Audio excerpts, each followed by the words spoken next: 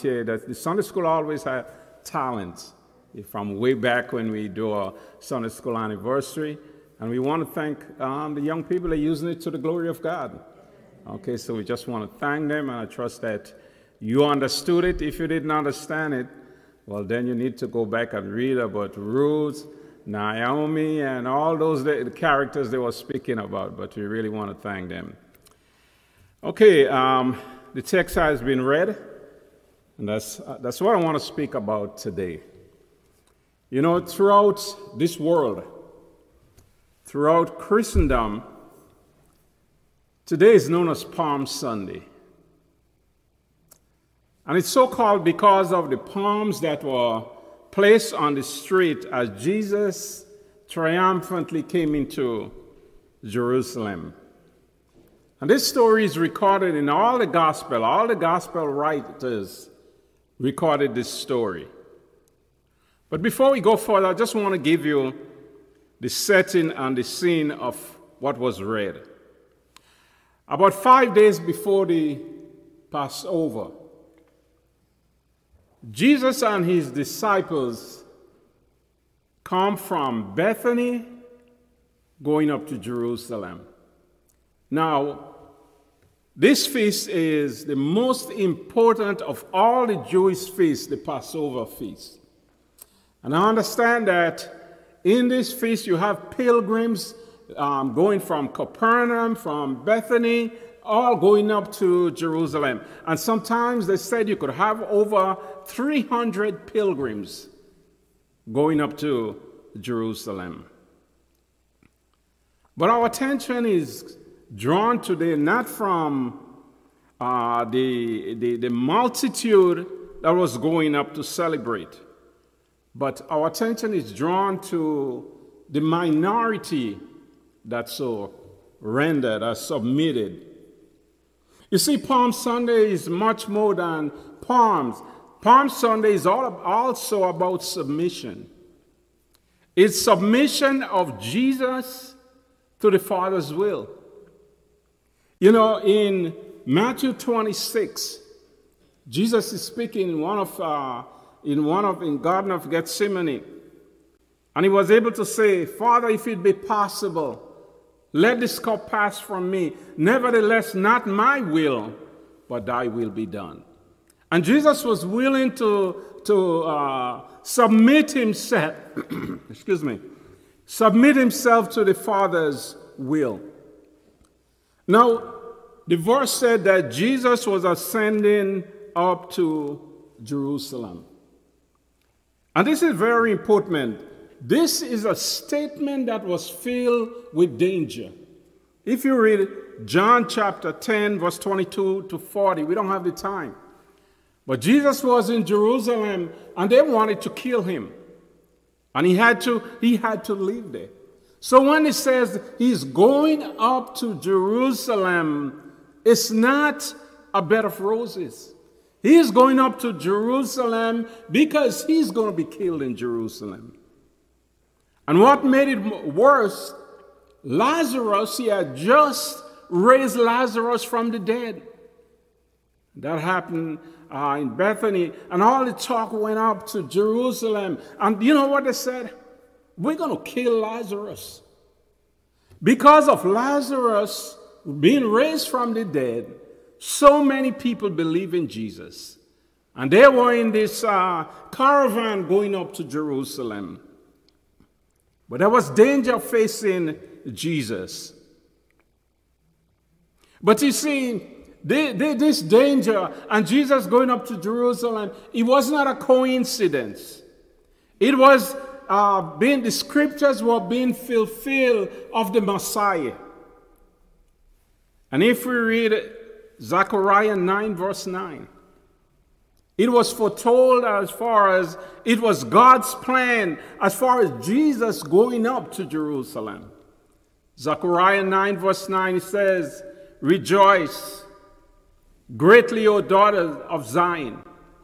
Shout, O daughters of Jerusalem. Behold, thy king cometh unto thee.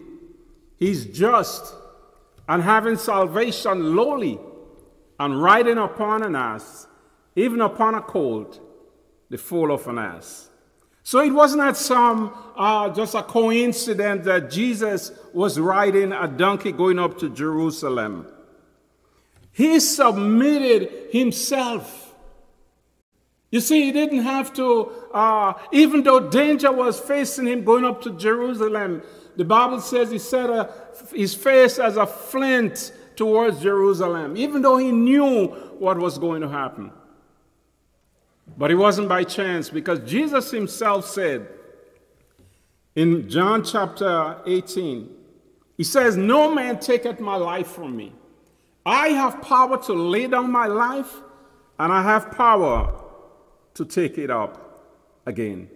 So this submission was necessary. This would lead to the cross, the reason why Jesus came. You see, he knew that going up there will lead to this is going to be the Last Supper.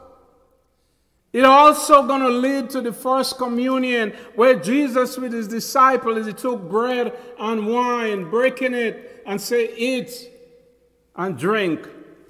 And that's what we did this morning. He knew going up to Jerusalem would lead to trials. He knows this will lead to scourging. He knows this will lead to him being crucified. But he was willing to do it for you and for me. He submitted. Paul writes into the Philippians in Philippians 2, verse 7. And he gave us a good understanding uh, of how Jesus submitted himself. Philippians 2, verse 7.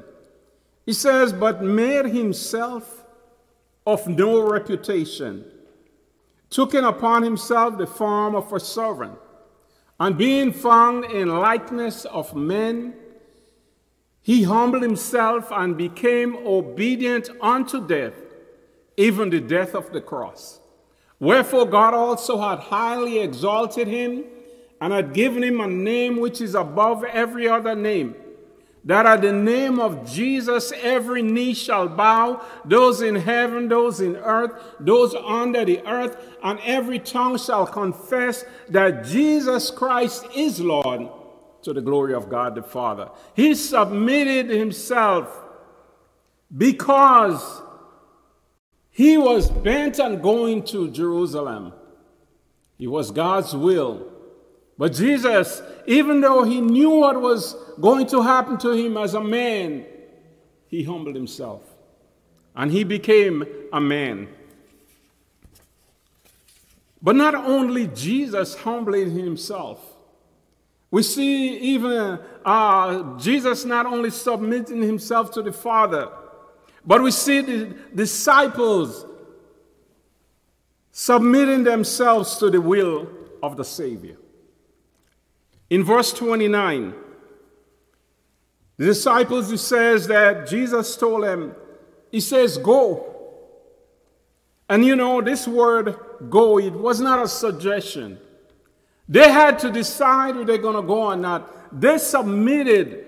They submitted their will. And here we have submission again. The Bible is filled with submission. And here the disciples, it says, Go ye. And you know, he, God is He's telling us the same thing. In Matthew 28, verse 19, we have the Great Commission. So not only is saying that you should go, he tells us we should go. He told the disciples and he's extended to us.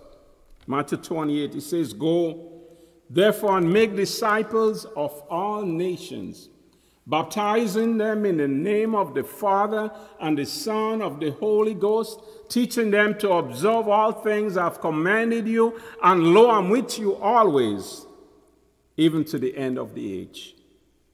But they had to submit themselves to obey what Jesus was telling them. He says, Going to the village over against you, he says, You shall find a colt. You see, Jesus knew that this donkey is going to be there. He knew that he's going to be tired because he says, Go on ahead of you. He has not been there yet. He's still uh, somewhere in Bethphage. But you see, uh, nothing is hidden from him. He knows about your past, He knows about your future. He knows about your he knows about your present and he knows about your future. He knows everything. He knows about you tomorrow, your, your tomorrow. And what, that's why Jesus says, He said, Don't worry for your life. What you shall eat, what you shall put on. Life is more than food. In Matthew 6 and verse 33, he says, Seek ye first the kingdom of God and his righteousness, and all his things shall be added unto you. And he said, as you go, you're going to see this cold tide. And you know, as you look around, a lot of people' lives are tied up in sin. A lot of people's lives are in bondage of sin. A lot of people's lives are tied up, tangled up in this world. That's why we have the mass shooting we have the rapes, we have all these things. People's lives are tied up and they need to be loose. Jesus telling before I could use, you have to, uh, it's tied, you have to loose it.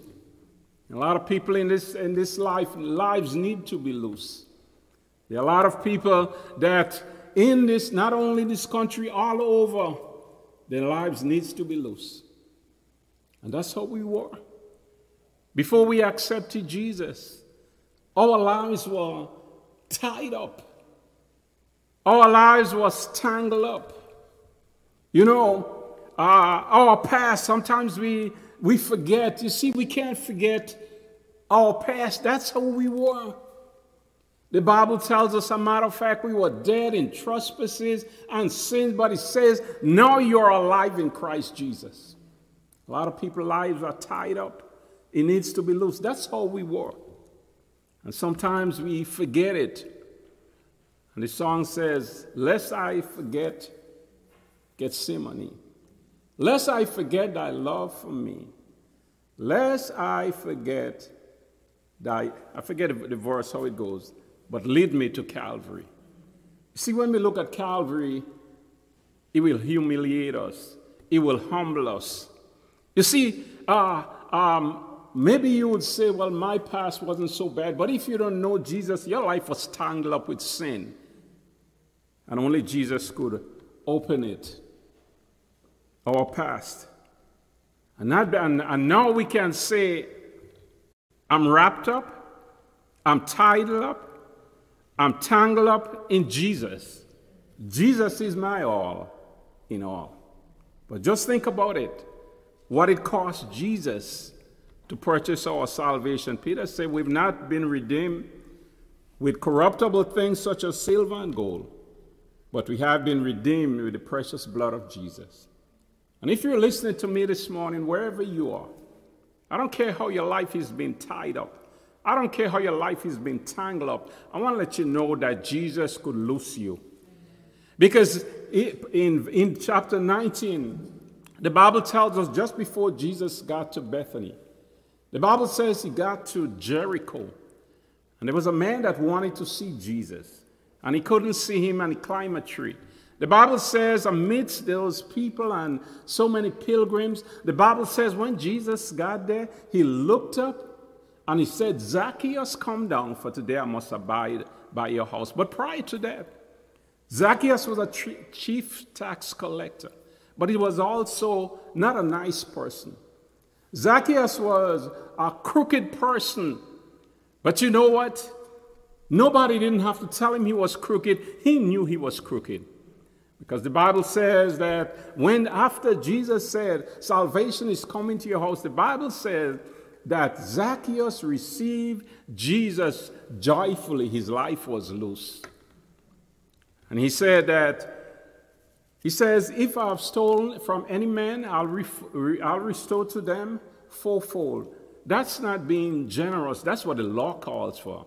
But he also said, half of my goods I will give to the poor. That's being generous. And that's what is able, Jesus is able to do. After he's tidy, he, he loose you, that's what he's able to do. 2 Corinthians 5:17 says, If any man be in Christ, he's a new creation. All things are passed away. Behold, all things, all things are become new. And it doesn't matter how your life is tied up. It doesn't matter what your life is tied up in sin, and problem. It doesn't matter what you person you are. The Bible says, Romans 3:23, we all have sinned and come short of the glory of God. And Paul writing in 1 Corinthians, and in the Corinthians, he said, This life that, what he says, such was some of you. You are thieves, you are liars, you are homosexual. He said, But now you are clean. That's what happened when Jesus loosed you. You don't have to give up. So Jesus said, Loose him. In other words, free him for all that binds him. And he says, Bring him here to me. And that's what we need to do with people. People whose lives need to be loose, we need to bring them to Jesus. We need to bring them to Jesus, and that's why uh, we, we, we started sharing Jesus without fear. Everybody ought to know who Jesus is. And Jesus said, I want you to loose this cold and bring him here to me. And you see, Jesus is the only one that can tame this, uh, this colt. The Bible says nobody had sat on that colt before. Jesus is the only one. Acts 4 and 12 tells us, Neither is there salvation in any other, for there is none other name under heaven given amongst men whereby we must be saved. Doesn't matter what your life is. Jesus said in Matthew 11 28, Come unto me, all that labor and heavy laden, and I will give you rest. Sin is a, it, it, it laid you, lays you down, it weights you down. You see all the bad things we've seen in the world? People are not doing it, uh, they, they become sinners, and you say, well, they do it and they become a sinner. No, they do it because they are sinners. You don't, people do bad things because they are sinner. It doesn't make you a sinner when you do bad things. You do bad things because you're a sinner.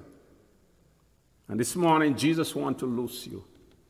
It doesn't matter how far you think you have gone. You might be tied up like this donkey. You just need to loose it and bring it to Jesus.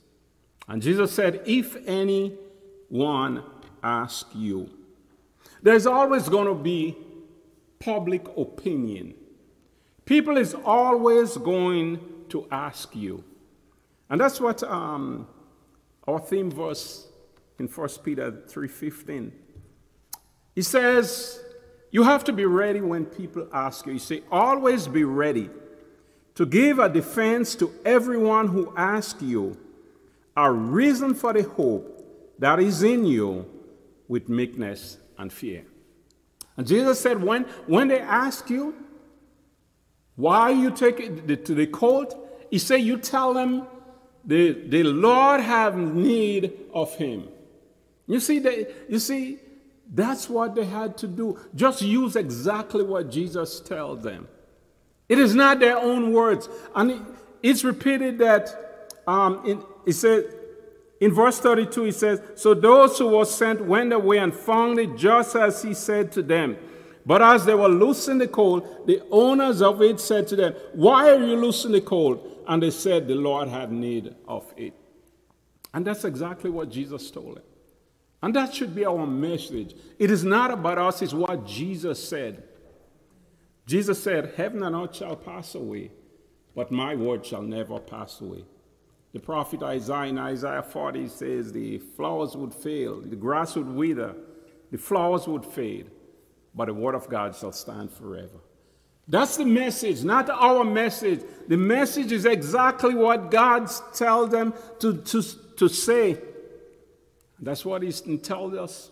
We need to tell people, according to God's word, they're all sinners. Romans 3.23. We need to tell people, yes, there is a penalty for sin. Romans 6.23. Wages of sin is death. We can't add anything. We shouldn't add to it. We shouldn't take away. And that's exactly what they did. And Jesus said, bring them here to me. And that's what we need to do. Bring people who are bound by sin. We need to bring them to Jesus. There are a lot of hurting people. You see, not only we have the submission of, the, of Jesus to his Father. Not only we have the submission of the disciples to the will of the Savior, but we also have the submission of the donkey to the Creator. From verse 35, he says, They brought the colt to Jesus, and he sat on it. And this is, this is very important. I don't know if you understand how difficult it is to, difficult it is to climb on a donkey's back without finding yourself on the ground. But you see, the colt submitted himself to Jesus. And I could speak from example, from, from example. I could speak from my father bought a donkey and he brought it home. And I'm going to tell you, to break, we call it to break in the donkey so you allow someone to happen, get on his back. It's not going to happen the first time. It's not going to happen the second time. It's not going to happen the third time or the fourth time. It would take more than that. And when my father brought home this donkey, and one of my brothers, my father um, held a rope, and he, he told him to get on the donkey's back. And I'm going to tell you, when he got on the donkey's back, next thing he was on the ground and lost his front tooth. And I wouldn't tell you which one of my brother. I'll tell you it's not Nathaniel. That I could tell you. but I have, I have seven other brothers.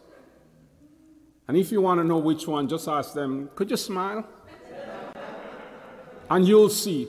So I see it firsthand. It's not easy to get on a donkey's back because it's not broken in, it's not trained. But the Bible says he got on his back, he submitted himself to Jesus.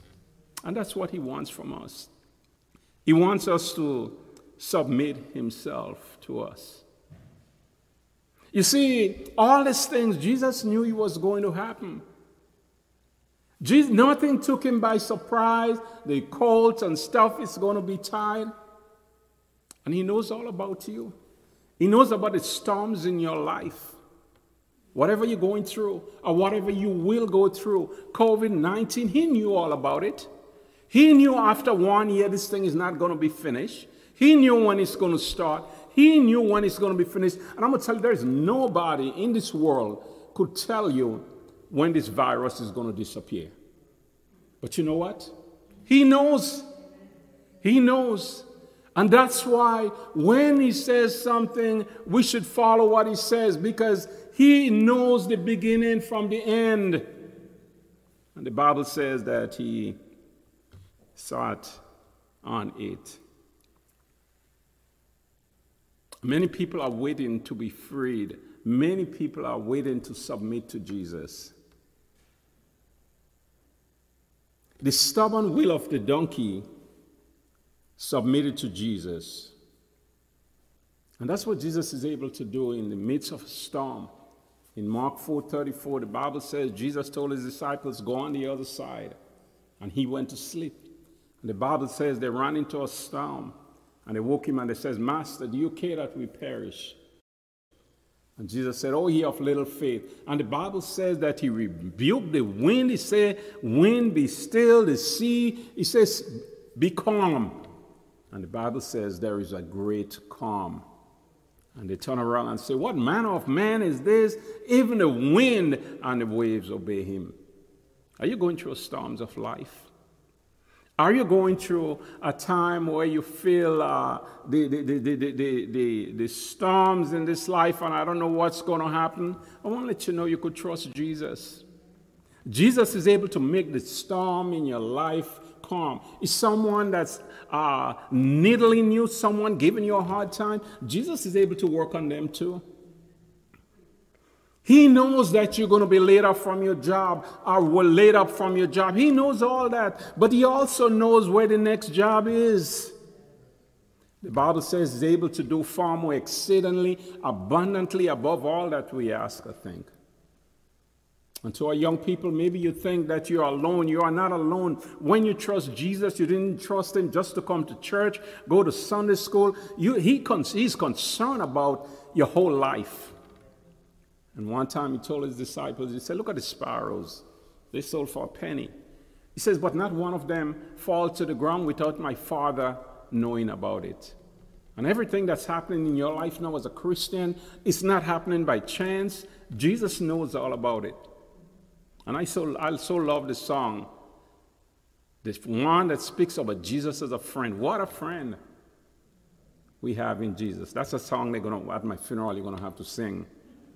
All our sins and griefs to bear. What a privilege to carry everything to God and pray. Say, oh, what peace we often forfeit.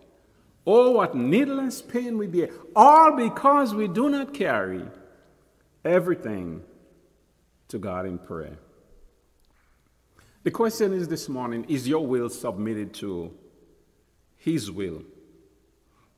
You see, we must submit to Him now. And those of you that are listening to me, you need to submit to Him now that's why he went to the cross. That's why he was going up to Jerusalem. He was going to die for you because the Bible says we all have sinners and we come short of the glory of God. The Bible also says it's not by good works. Ephesians 2 8 and 9 said, For by grace we are saved through faith, and that not of ourselves. It is the gift of God, not of works, lest any man should boast. Jesus could free you this morning and the Bible says that before Zacchaeus, Jesus, when he was going, as he went, before he got to Jericho, the Bible says he was going and there was a poor, poor man, a blind man by the roadside begging. And when he heard the commotion, he asked, What's happening? And they told him, Jesus of Nazareth is passing by. And he cried out, Jesus, Jesus, thou son of David, have mercy on me. And the people said, Shut up. Be quiet. And mother tell him quiet, Jesus, thou son of David, have mercy on me. And as the parade moved by, and Jesus got to him, and Jesus said, Wait, what's happening? And they, and they said, Go ahead, he's calling you. And Jesus said, What do you want me to do? He says, To receive my sight. Jesus said, Thy faith has made you well. Go in peace. And that's what we were. We were all blind. And you see, the blind man sees the opportunity, and you can seize the opportunity this morning. And Jesus is passing by just as he's going up to Jericho, he's going up to passing Bethphage, he's passing Bethany, and he's going up to Jerusalem. He's going to die. He might never pass this way again. He was not coming back. For Zacchaeus, for the, the blind man, he would never come back that way again. And so it is maybe Jesus, this is your last opportunity. Jesus is passing by this morning. And he went to the cross of Calvary. And he gave himself, uh, he submitted to the Father's will. Are you willing to submit to him this morning? And we read this morning Philippians 2, verse 7. You see, if you fail to submit to him now, you see, one way or the other, you're going to have to submit to him. The Bible says, But at the name of Jesus, every knee shall bow and every tongue shall confess that Jesus Christ is Lord to the glory of God the Father. The blind man sees the opportunity, and if you don't know Jesus this morning, you could seize the opportunity. You could say, Yes, I believe that I'm a sinner. I believe Jesus paid the price for my sin. I'm willing to accept Jesus as payment for my sin. Romans 10 and 9 says that if thou shalt confess with thy mouth the Lord Jesus and believe in your heart that God has raised him from the dead, thou shalt be saved. You will be saved from the penalty of sin. We talk about the penalty. You will be saved from the power of sin, and you will be saved one day from the very presence of sin. Jesus humbled himself to the Father. The disciples humbled themselves, they submitted themselves to Jesus. The donkey submitted themselves to Jesus, and there's no reason why you can't submit yourself to Jesus. And whether you do it today, and if you fail to do it, the Bible says you will die in your sins, and where I am, you cannot come. The songwriter says, Will you surrender to the Savior? Now before him humbly bow. You too shall come to know his favor. He will save and save you now. And this is my prayer this morning. That as Jesus is passing by in your life, Just as he knows the beginning from the end. Romans 10 says, Whosoever shall call upon the name of the Lord shall be saved. And that's what the blind man did. He called upon Jesus. Zacchaeus was a crooked man. He was tied up. His life was, he, he was freed because of Jesus. And whatever situation you are in, you could be freed this morning. You could say, I want this Jesus. I believe, yes, that Jesus died for me. You see, without Jesus submitting to the Father, there will be no Good Friday. There will be no Easter next week. But He did it for you and for me. And the question is are you willing to submit? Surrender yourself to Him. The hymn writer says, All to Jesus I surrender. All to Him I freely give. I will ever love and trust Him in His daily, in His presence daily live. I surrender I surrender all. All to thee, my blessed Savior, I surrender all. Wherever you are this morning, you can surrender to Him. You can say, Yes, I want this Jesus. Life is very brief. Over 550,000 people died from the virus. And, I, and that's only from the virus. A lot of people die from other things. And you don't know when it's going to be your turn.